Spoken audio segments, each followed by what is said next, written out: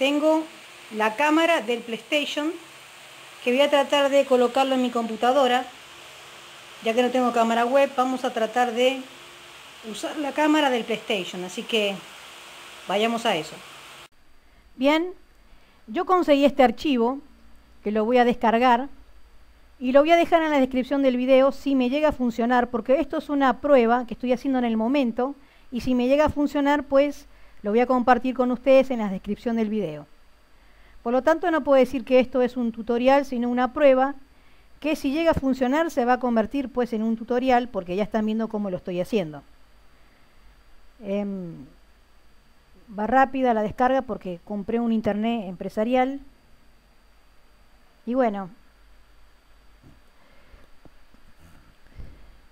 Ahí tenemos. Vamos a ver si no tiene virus.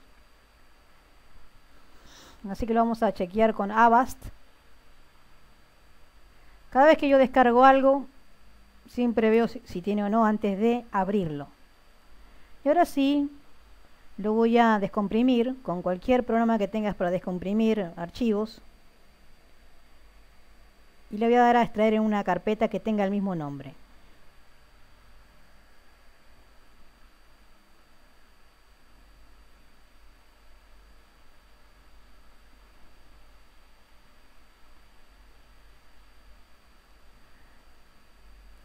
Esta es mi cara de guerra. Y bueno, vamos a buscarla entre todas estas carpetas. Y acá tenemos, tenemos aquí el driver. Y lo único que tenemos que hacer es, bueno, se llama iDriver.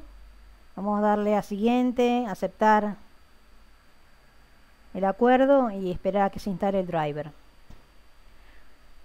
Eh, Cabe destacar que, según las instrucciones que yo vi por internet, primero se instala el driver y después se conecta la cámara. Vamos a ver si funciona.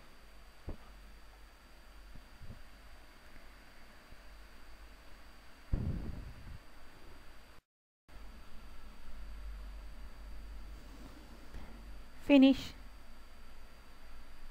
Y bueno, me van a dar un segundo para que yo pueda instalar la cámara.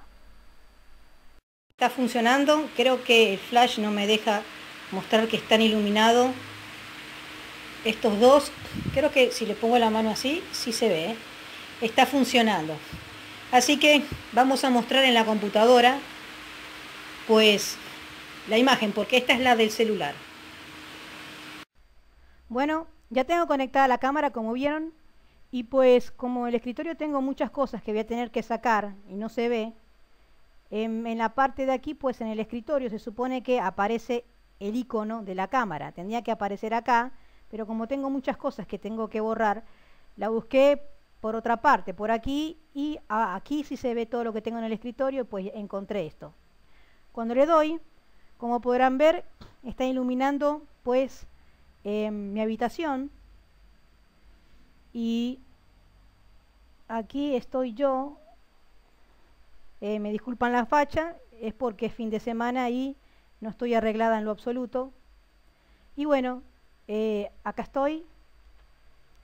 Y bueno, voy a poder utilizar entonces la cámara del PlayStation para hacer mis gameplays.